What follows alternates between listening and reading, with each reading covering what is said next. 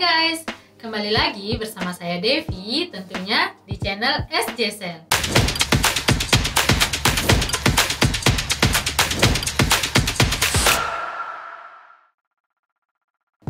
Smartphone tak hanya sebagai alat komunikasi saja, sebagian dari kita banyak menggunakannya sebagai media penyimpan data seperti foto, video, kontak, dan lain sebagainya.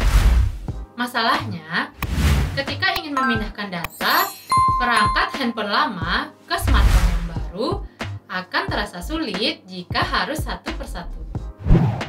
Nah, di video sebelumnya kita sudah pernah membahas cara pindahin data dari Android ke Android. Bagi yang belum nonton, bisa klik linknya di atas. Dan di video kali ini, saya akan membuat tutorialnya dengan aplikasi ClonePun. Buat teman-teman yang belum berhasil memindahkan data dengan cara di video kita yang sebelumnya, teman-teman bisa coba ya dengan memakai aplikasi ClonePun ini. Pada penasaran kan seperti apa? Yuk, langsung aja kita coba.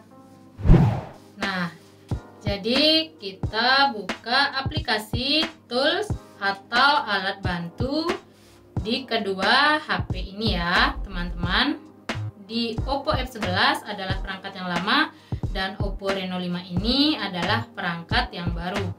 Kita buka sama-sama di alat bantunya. Kemudian kita klik clone punnya. Nah, di perangkat lama ini ada tulisan telepon baru, telepon ramah. Begitu juga di perangkat yang baru. Jadi di perangkat yang lama kita klik telepon lama. Dan di perangkat yang baru kita klik telepon baru. Di telepon baru ini kita pilih impor data dari ponsel Oppo. Jadi ada pilihannya teman-teman. Ada impor data dari ponsel Oppo, impor data dari ponsel Android, impor data dari ponsel iPhone dan pulihkan dari cadangan cloud. Kita pilih yang impor data dari ponsel Oppo.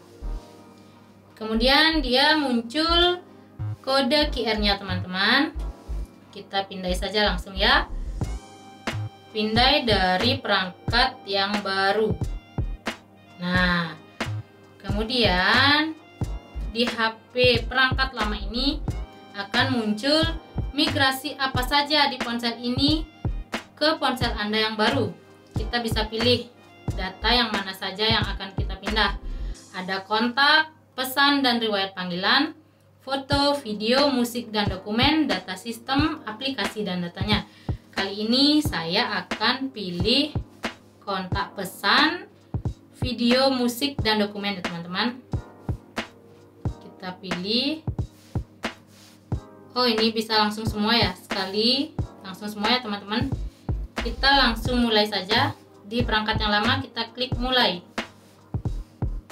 Nah dia langsung otomatis ke perangkat yang baru ya. Jadi dokumennya musiknya riwayat panggilan pesan gambar semuanya. Ini bisa sekali transfer ya. Kita tunggu. Masih 57% oke sambil kita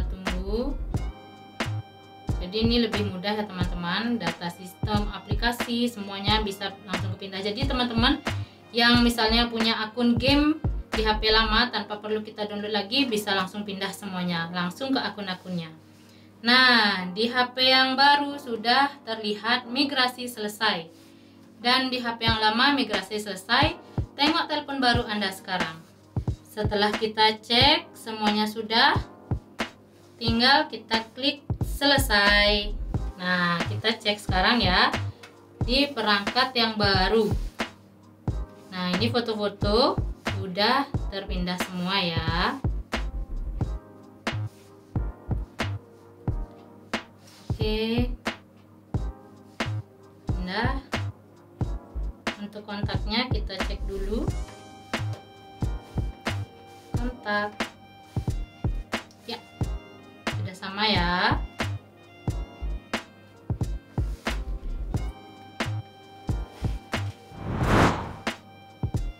Oke, itu dia tadi guys tutorial cara memindahkan data dari perangkat lama ke perangkat baru. Jadi, mudah banget kan teman-teman? Oke, cukup sekian dulu tutorial kali ini. Jika ada pertanyaan, silakan ketik di kolom komentar ya guys. Sampai jumpa lagi di video-video dan tutorial video selanjutnya. Bye-bye!